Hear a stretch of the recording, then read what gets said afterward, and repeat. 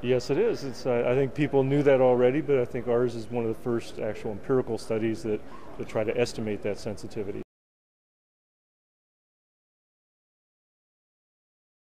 Um, probably because um, the economists haven't been brought into this field too much yet, and I think it's just starting to, to bring the social sciences into, into look at the weather, weather impacts. The work that has been done before has kind of been back of the envelope. There have been studies about individual cases like agriculture or grapes or things like that, but not looking at the whole U.S. economy before.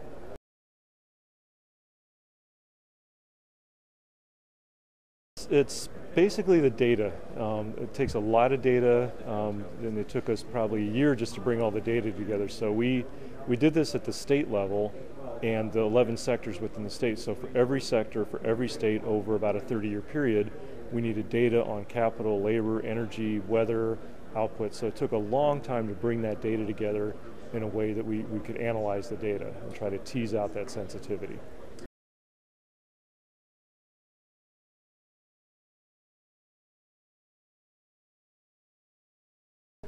I think any economist could have done this. It's, it's not, I hate to say this, it's not rocket science. Um, it's using some fairly um, standard um, analytical methods from, from economics. What, what we had, or possibly had, we, we knew enough of the weather people and had access to them to know where to ask for the weather data. Um, so getting the weather data from the NCDC, anybody can do that, but being aware that that's where you can get that would have taken a little bit more kind of initiative from somebody outside of the, outside of the field.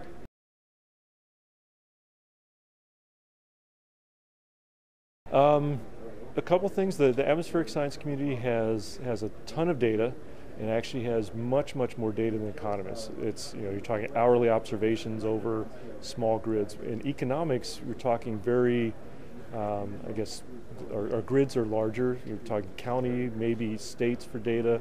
Our time periods are maybe once a year, maybe once every census we get data. So matching up those data in terms of working with the weather people, I, have found across the whole industry, weather people are absolutely passionate about what they do. They're they're excited about weather, um, and I, am not. I don't see that in economics. People are passionate about their analysis, but people don't get up and jump down and say, "Oh, the GDP went up 1.2%, but the temperature changes and people get excited. So, definitely a lot of passion. Um, and pretty much anything you say is is taken to heart and people are, are seeking information that we can bring to this so people want to know what what the impacts are and i think a lot of the weather community really is passionate about the impacts on society and there, there's passion about the weather but they're really also passionate about about how what the weather forecasting affects society and ultimately saving lives and property is for, for a lot of people their ultimate goal here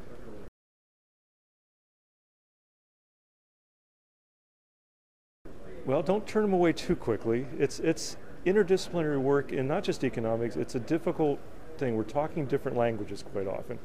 And actually, economics probably works better with, um, say, uh, meteorology than a lot of other social sciences because economics is very much um, data driven.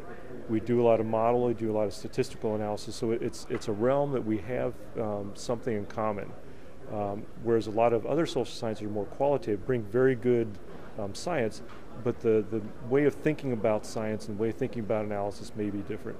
Even though I'm finding a lot of um, meteorology people very data driven, but they use different methods. So there's there's languages that have to be spoken across the divide, and that's that's been for seven years in, the, in our program, trying to understand how to talk across the divide between disciplines. It's, it's been challenging, but it's also been it's it's the neat part, it's the fun part, it's the exciting part.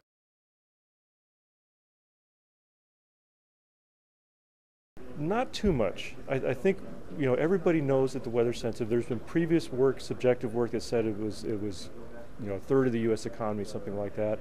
We wanted to boil this down and say what what did the numbers tell us?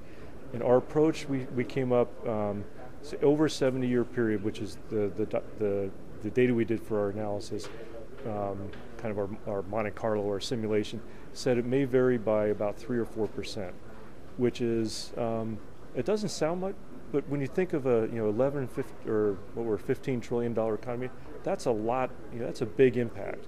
So if, if we are talking um, you know 400, 500, 600 billion dollars swings in the in the U.S. productivity, that can be attributed to weather, that's something we really need to start looking at more and really dig in to say, um, is that is is our analysis right? Are we doing this right? Because this is just the first study. I always think it takes multiple studies, but that's a lot of potential for for savings, for risk aver- or risk um, um, mitigation, um, to, to do better for the economy. And we're not talking about saving lives on this point, but for you know 600 billion dollars of the U.S. economy, that, that perhaps we can do better to reduce that impact.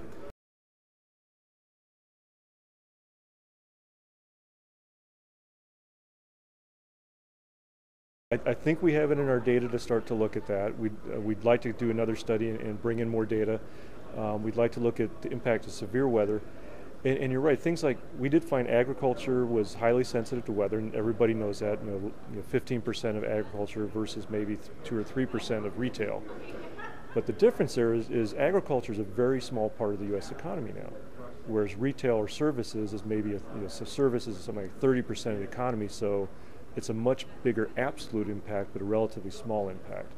In agriculture, there's a lot of effort in agriculture to, to mitigate um, weather impacts, but it's only um, something like 3 4% of the U.S. economy at this point.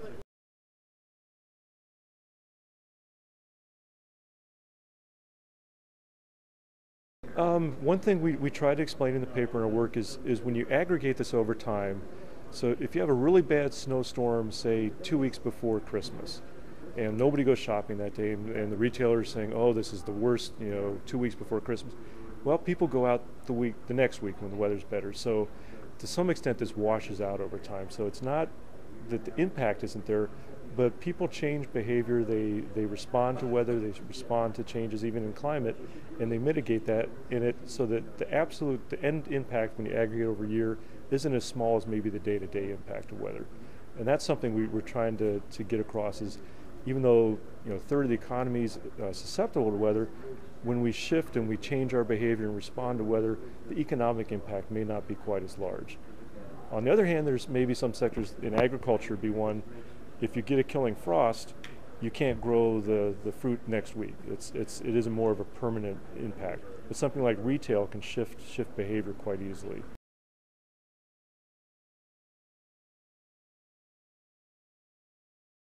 That's um, that's something we weren't able to we can't get at our data because embedded in the way the economy works is the current knowledge about weather weather forecasting uh, mitigation of weather impacts. So given that the data that we have is result of what's already in the system we can't um, use our data to back out say what if you took meteorology away? What if you took forecasting away? That that's a different type of analysis that we can't get with actually the historical data um, I think it'd be perfectly valid to say that, yeah, the sensitivity would be greater, but that's part of what happens over time with economies and technology is that we, we adapt to that, we build that into our systems. We, we have things like insulation in our buildings. We have um, more insulation up north than in, than in the south. We have air conditioning. So we've adapted to a lot of that. The question is if, if things change, how much is the cost of adapting to changes? Or if the variability, if we have more variability, are our current technologies and our current capital stock built to, to deal with that variability?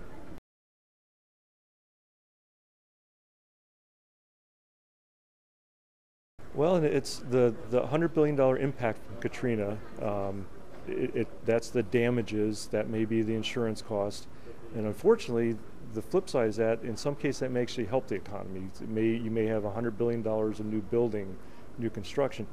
The difference there, that may be economic activity, but that doesn't improve the welfare of the people.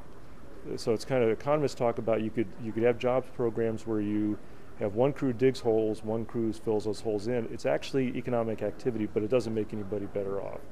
So that $100, $100 billion impact is huge, and our, and our, data actually did not cover that event um, at this point but it's it's it's also something that may wash out in the big picture when you spread, say, what the consumption in, in Louisiana maybe moved elsewhere. So um, maybe people instead of vacationing New Orleans went to Hawaii that year. So unfortunately, it's a big impact socially, but economically, it may not be quite as, as bad.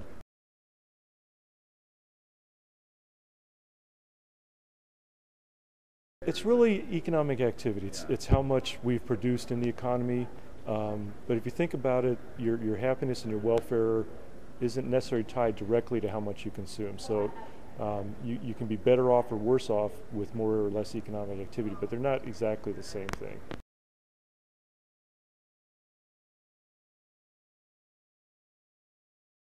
That's a whole other ball of wax. and that's, I mean, that's some of the work we do on, say, the benefits of, of hurricane forecasting. That you may actually, um, economically, you may only pay $5 a year to, to the government for what you get for weather forecasting but the benefit, the welfare benefit you get may be hundreds of dollars. So, and we, this is an area we call non-market valuation, where you try to get an estimate of the welfare effects, but not necessarily what you're what you're putting down on the table. And so we have studies that say people may be willing to pay, um, say, three, four hundred dollars a year for the forecast they get from the Weather Service, because that's the benefit to them, but they're only paying five dollars.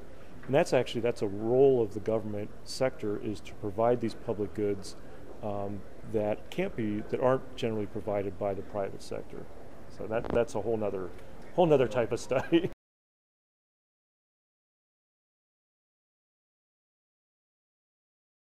And that, that's actually where the economic data we start getting constrained because we don't have good day-to-day economic data. There, there's not satellites up there watching people spend their money. Day, well, maybe there is, but uh, we, we don't we don't have data on people spending and income day to day the way that we do on weather. So we, we haven't been able to, to boil this down to that type of scale. So we, we're, we're aggregating this over, over the year. We may be able to get this down to quarterly data, uh, but again, there's a lot of limitations on the economic side of the data that's available to look at this.